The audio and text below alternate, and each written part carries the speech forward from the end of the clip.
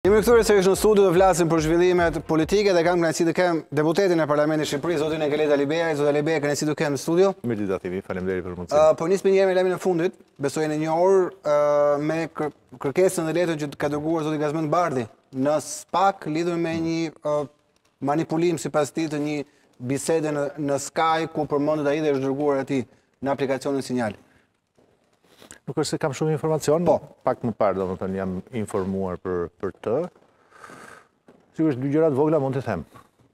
Do më thënë, ka një model sjelljeje në këto raste, mhm. ku çdokush, çdo qytetar, aq më tepër edhe një politikan, sjellja që do të duhet të ketë është ta depozitojë çështjen, sigurisht ajo, ta depozitojë çështjen në organet e drejtësisë, në sistemin e drejtësisë. Kjo është sjellja e cila do duhet sugjeruar edhe publikut. Mos harrojmë edhe faktin tjetër që politika shqiptare ka humbur çfarëdo lloj elementi apo dhe skrupulli minimal përdor shpesh nga këto goditje poshtë brezit, kultura e shantazhit prej kohësh Pra është një nga simptomat e politikës së vjetër në fakt, që shpesh ka mbizotëruar në politikën shqiptare, ndaj sjellja është pikërisht kjo. Për çdo çështje, e cila pretendohet mhm. që të cenon imazhin, do duhet çuar në një institucion i cili të thotë fjalën e vet. Sepse përndryshe E dini, ambienti mediatik apo dhe publik shpesh nga mosinformimi i duhur, ndonjëherë edhe nga instrumentalizimi që edhe politika mhm. mund t'i bëjë, krijon uh, paqartësi. Dhe ky është, ju thashë, ky është konkluzioni i parë. I dyti, po, më duhet ta them edhe këtë, ja se përse. Duhet, i duhet në fakt, jo vetëm politikës, por mbi të gjitha publikut, një sistem drejtësie i cili të jetë i besueshëm, mhm. të jetë me integritet, të japë një përgjigje të shpejtë në kohë, pashë edhe Zoti Bardhi kishte bërë me po. të drejtë, kishte bërë një kërkesë të tillë. Dhe që do të thotë, cili është leksioni në fakt për politikën, mhm. të dalë te kjo e treta, Që pozicioni që do duhet të mbajë politika ndaj një sistemi të drejtësisë është veçse ta mbështesë me synimin për ta përmirësuar atë, sepse ja se si vjen çështja, në çdo rast, herët apo vonë, ke nevojë për, si i thuash, gojën e fjalën apo fjalën e një autoriteti të tretë jashtë lojërave politike, i cili të gëzojë besimin edhe të publikut. Kështu që këto janë komentet që unë kam për momentin, duke ruajtur sigurisht po themi, atë se çfarë do duhet karakterizojë një... Mbete për të vëjnë... Pa spekuluar për asnjërën nga opinionet se... Kjo është si duhet të sillet. Po, një mendje, po themi në këtë politikën e trazuar eh. shqiptare, fillon e mendon që po, e shef, tani shif se ku ka shkuar lufta politike, përdorin edhe instrumenta të tillë shantazhues apo keqinformues. Eh. Ndaj do duhet besuar po themi sistemi i drejtësisë. Zoti Paloka tha që do kërkojmë një komision hetimor për të vërtetën.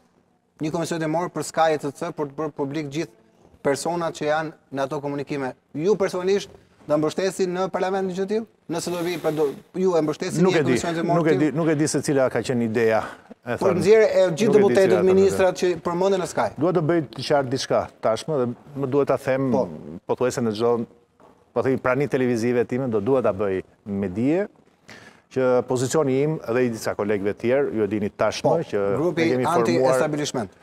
Mund ta quani si doni, po një grup politik Zonja parlamentar e ka pagëzuar në studion tim me këtë emër që unë qëndroj. Dhe duhet ta besojmë sepse besoj që zonja Açka është shumë e qartë mhm. në në përdorimin e fjalës. Përdorimin e fjalës, pothuajse e vetmja dhe e rralla. Është mjeshtria e saj fjala. Dhe sa që e kemi në grupin tonë, Që kemi një pozicionim tonë të qartë dhe linjën tonë politike.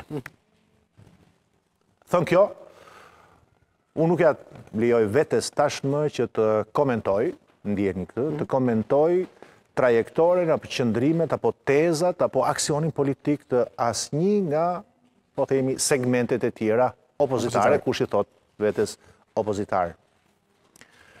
Nuk e njof.